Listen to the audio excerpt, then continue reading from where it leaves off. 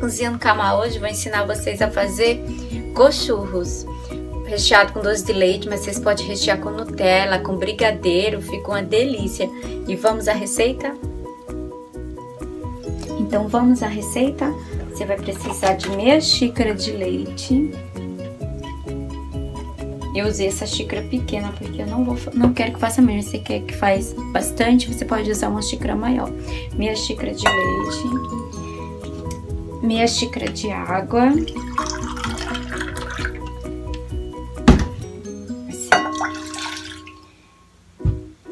Duas colheres de manteiga, eu usei esse tamanho.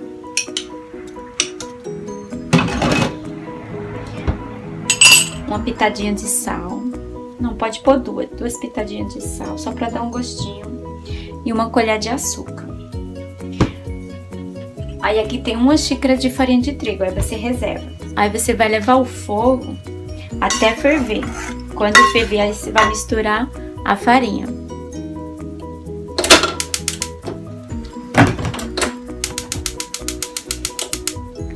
Aí vamos mexer até ferver. Ele vai ferver rapidinho, porque é só uma xícara né, de leite. Aí se você quiser fazer mais, aí você coloca mais quantidade. Você vai dobrando as, os ingredientes e também a medida da xícara. Você pode pegar uma xícara maior que faz, aí dá bastante com churros e a mesma receita. Você pode fazer os churros também, ou bolinha, né? Vai dar certo. Aí você vai esperando ferver, aí vai mexendo, que já vai derretendo a manteiga, né? Pegou fervura, a gente põe a farinha. Ó, já tá fervendo mesmo, fazendo bolinha. Aí você abaixa o fogo, Aí agora eu vou colocar a farinha. Aí você já coloca a farinha e mexe. Mexe rápido. Porque tem que cozinhar.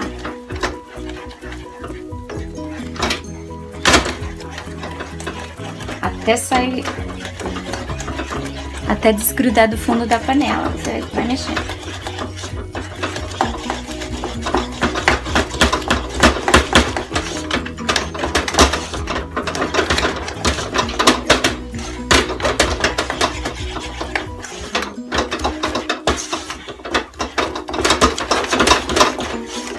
Faz força, porque às vezes não fica aquelas bolinhas do, da farinha. Ó, até. Ela vai cozinhar por inteiro, tá vendo, amado? É que minha panela é teflon, ela não gruta, mas se você for fazer numa panela normal, você não deixa queimar. Deixa o fogo bem baixinho. Acho que já tá bom, ó. Não, nem tem cheiro de massa crua. Aí agora a gente vai colocar aqui no, na tábua. Eu uso esse negócio aqui de... Vendi no Raquen, um plástico. Não é plástico. Não sei que material é esse não.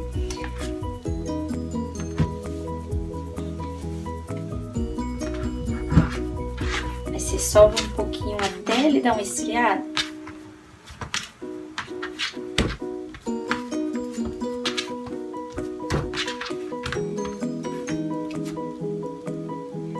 Bolinhas.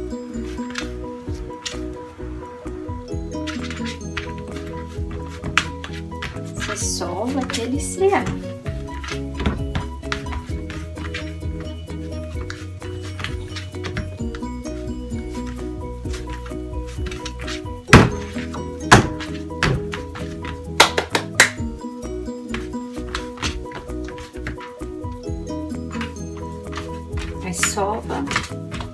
já tá frio, ó. Já tá gostoso. Dá pra você pegar tranquilo. Quando você põe logo aqui, fica muito quente. Mas então você vai rápido e vai balançando a mão.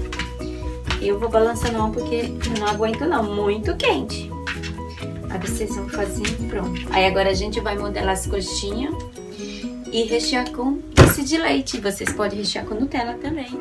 Ó, ficou a massa ótima bem macia. Se ficar aqueles carocinhos, você vai tirando e vai jogando fora. Eu vou... Aí você vai, na hora que você vai modelando, ó, você vai jogando fora desnecessário. Fica com ele. Você pega uma bolinha, Aí você amassa assim na mão. Aí pega um pouco de doce de leite. Aí você vai modelando tipo coxinha mesmo.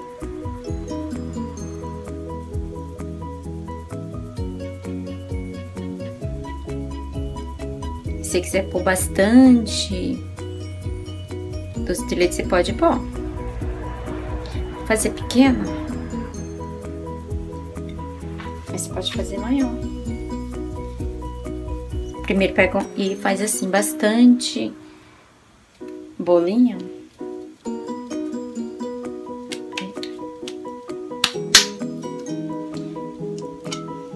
Pega a colher doce de leite, ó. Pus pouco doce de? Acho que não.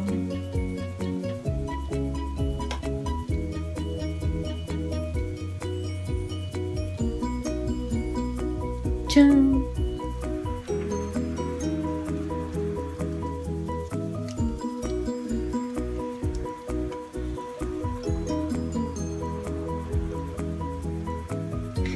O dedo fica assim, melado, né? Aí eu passo no paninho. Deixa um papel toalha perto de você. Você vai passando. Aí eu vou apertando assim.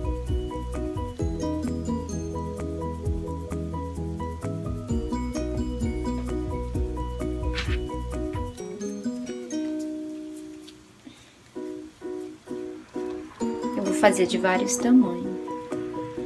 Vou fazer tudo um tamanho só. Coloco o leite moça para cozinhar na panela de pressão por uma hora. Aí fica dessa cor. Eu gosto dessa cor bem forte. Enquanto mais você cozinha ele, mais duro ele fica. Mas uma hora para mim já é o suficiente.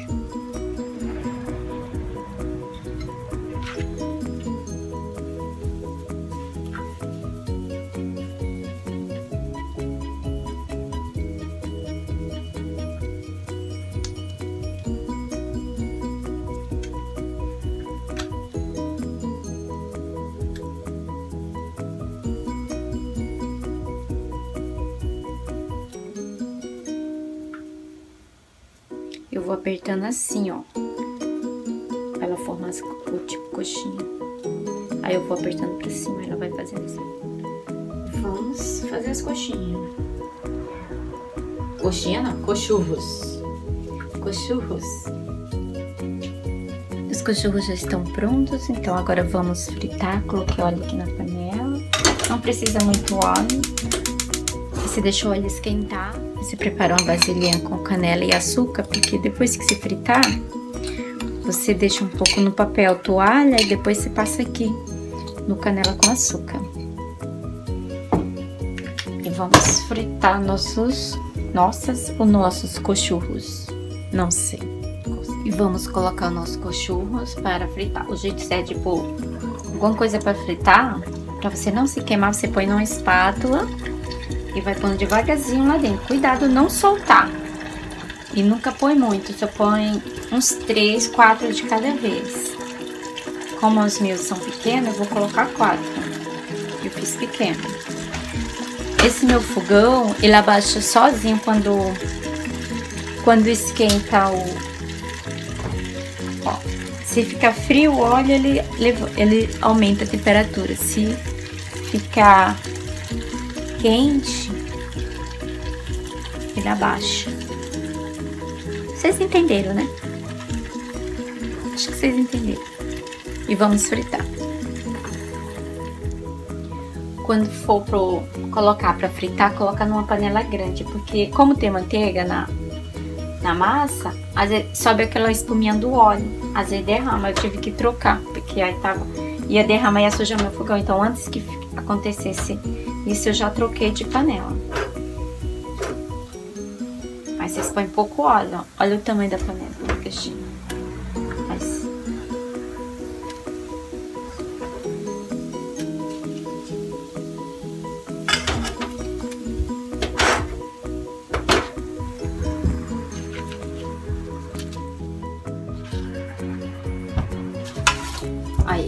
Passou no papel, já vai passando no açúcar e na canela. Só deixa mesmo um pouquinho no papel, porque você já tem que passar logo no açúcar e na canela, porque senão depois não pega o açúcar e a canela. Ele tem que estar tá quente pra pegar.